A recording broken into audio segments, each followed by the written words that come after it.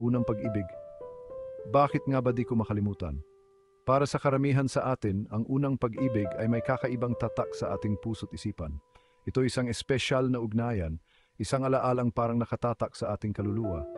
Minsan, naisip ko, bakit nga ba isa lang ang buhay natin? Bakit isang tao lang ang pwede nating mahalin habang buhay?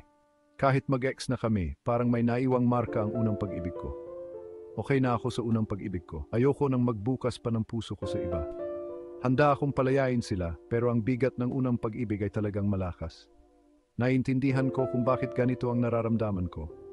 Ang pagpili na manatili sa alaala ng unang pag-ibig mo, kahit wala na siya, ay nakasalalay sa iyong mga prinsipyo at damdamin. Minsan, ang tunay na kaligayahan ay nakukuha kapag tinanggap natin ang ating nararamdaman. Hindi natin kailangang pilitin ang sarili na maging masaya sa bagong relasyon kung wala tayong tunay na hilig dito.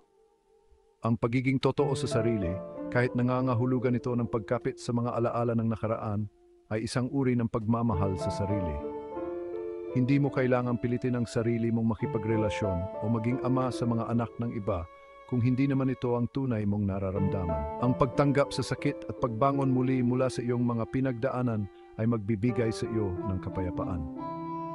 Ang pagiging totoo sa sarili ay mahalaga.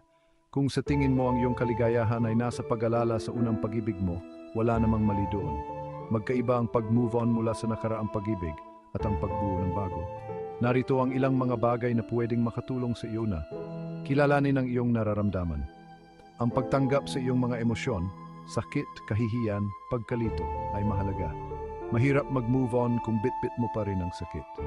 Pangalawa, patawarin ang sarili. Hindi mo kailangang parusyahan ang sarili dahil sa mga naging desisyon mo noon. Ang pagpapatawad sa sarili ay makakatulong sa iyo na magpatuloy sa mas maligaya at malusog na buhay. Pangatlo, alamin ang katotohanan. Ang nakaraang relasyon ay nag-iiwan ng mga alaala at emosyon na mahirap kalimutan, samantalang ang bagong relasyon ay nangangailangan ng panibagong simula at pag-unawa.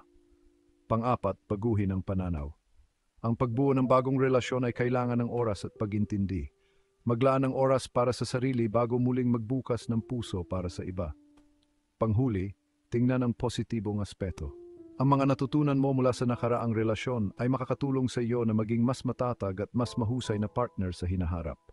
Ang mga karanasan kahit masakit ay nagbibigay sa iyo ng lakas at aral.